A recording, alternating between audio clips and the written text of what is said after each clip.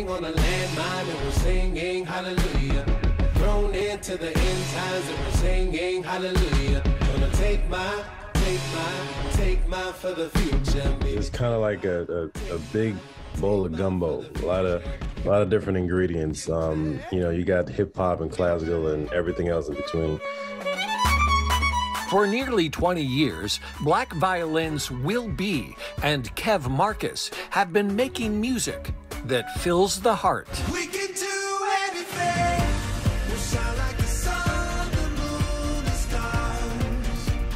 The duo met at a performing arts high school in Florida, both classically trained players, but not originally by choice. How did you ever pick up a violin? My mother made me do it. My mom is the reason why I started playing. I started playing when I was 14, and I wanted to play the saxophone at first when they put me in the wrong class. True story.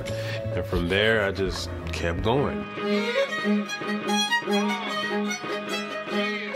And they're still going, bursting stale stereotypes wherever they play. Sometimes even on the way to the next gig. When we come on airplanes, every time we, you know, we always have the instrument. The, the flight attendants always say, "Oh, you're gonna give us a concert?" They always say that. So we was like, "All right, this time we're gonna give you one."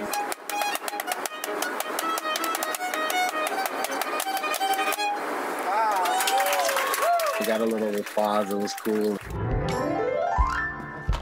This is my baby right here. I don't name my instruments like other people in my band. Say hello to Tiffany. And this is when I play on stage. Now, she's a beauty. The duo love to perform, especially for kids.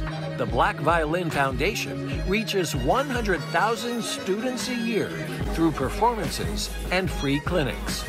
Our message for kids is a broader message of what can you do that no one else thought was possible. Hey, man, good job. You're playing good. This is the best job ever, man. This is just, um, it's amazing to be able to do what we do and not only inspire, uplift, and entertain, but, you know, we, we ourselves are having fun every day.